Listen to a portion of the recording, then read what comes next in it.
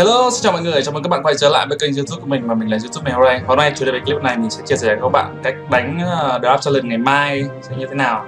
Thì đầu tiên, đầu tiên chúng ta sẽ tìm hiểu về cái thẻ này, thẻ Barbarian Barrel này nó sẽ có gì đặc biệt, nó sẽ có gì đặc biệt?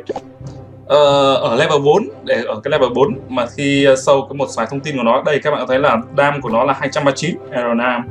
À, với ờ, độ rộng của nó à, độ rộng của nó là 3,9 sẽ bằng với cái lock và độ dài của nó là 6,5 thấp hơn lock là 5 ô 5 ô. Vì vậy thì chúng ta có thể thấy là cái cái cái con này khi mà mình quăng ra ấy, thì nó có thể counter được cả preset và counter được cả goblin barrel vì vậy là điều đầu tiên để mình chia sẻ cho các bạn cái tip mà đánh Event Challenge, uh, Draft Challenge ngày mai ấy, đó chính là cái việc mà các bạn nên sử ưu tiên sử dụng. Nếu mà các bạn được chọn thì các bạn nên chọn cái uh, Barbarian Barrel này thì uh, một đầu tại sao chúng ta lại chọn con này? Thì thứ nhất là chúng ta có thể counter được preset và uh, Goblin Barrel và vì vậy là khi mà các bạn mà ép đối phương đã sự uh, chọn uh, ba Goblin Barrel và preset thì các bạn nên chọn các bạn nên ưu tiên chọn con uh, Barbarian Barrel này thì như thế là các bạn sẽ có một cái lợi thế rồi. Một thứ nhất định ở ngay thì khi việc chọn rồi.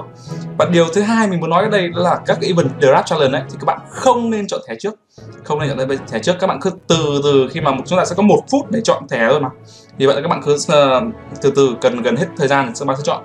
Điều thứ ba mình muốn nói ở đây đó là cái việc mà các bạn là chọn thẻ thế nào để gây bất lợi cho đối phương và có lợi cho mình thứ nhất là các bạn có thể uh, các bạn nên chọn những cái thẻ mà có thể counter counter đối phương.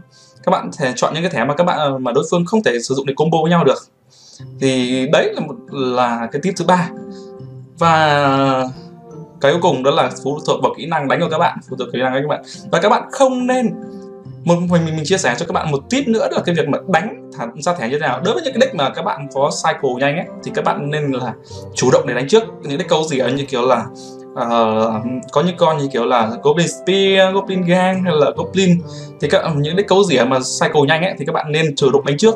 Còn đối với những deck mà beat down hay là những deck mà các bạn xuất phát thẻ mà nó nó không nó không nó không đẹp bài không đẹp thì các bạn nên nên là các bạn là uh, ờ, nên là các bạn không không nên tha ra thẻ trước vì ra thẻ trước các bạn hầu hết các ra từ bạn đều biết lợi hết. Và đấy đấy là tất cả những gì mà mình uh, chia sẻ cho các bạn. Bốn tip bốn tip. Thứ nhất là ưu tiên chọn là Barbarian Barrel này. Thứ hai là à, từ từ hết thời gian này chúng ta sẽ chọn thẻ này. Thứ ba là chọn những cái thẻ counter mà chúng ta để ờ, mà nhường cho đối phương những cái thẻ mà nó xấu bài xấu không tạo ra một những combo được. Và thứ tư nó là phụ thuộc vào điều kiện phụ thuộc vào kỹ năng của các bạn thôi. Phụ thuộc cách đánh cho các bạn thôi. Các bạn thẻ bài các bạn bài đẹp thì các bạn ra trước còn các bạn bài xấu thì các bạn từ từ các bạn ra. Thế thôi.